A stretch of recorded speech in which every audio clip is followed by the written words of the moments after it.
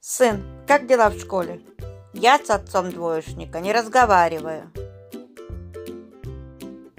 Вы меня не поправляйте, я вам не конституция. Девушка, вы до скольки работаете? До 60, блин. Настоящая любовь – это когда помыл кота, а он все равно к тебе пришел. Работаю охранником в магазине на первом этаже. Попросил повышения. Повысили? Да.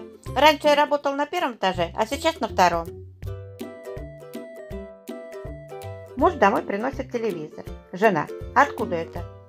Твоя подруга меня к себе позвала, разделась и говорит, бери что хочешь. Ну я и взял. Ношу в кармане фляжку не от скуки. Тот хлебну, а то помою руки.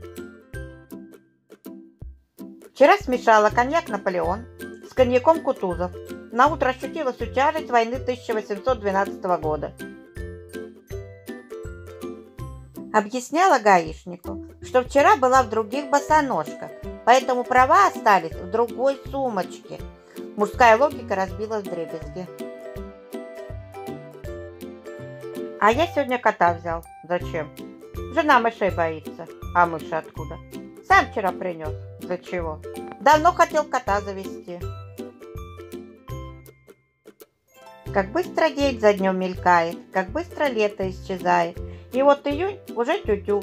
Сидю, грустю. Жара. Захотелось окрошки. Решила разнообразить рецепт. Вместо картоха, колбаса, огурец покромсала клубнику, шоколад, персики, залила шампанским.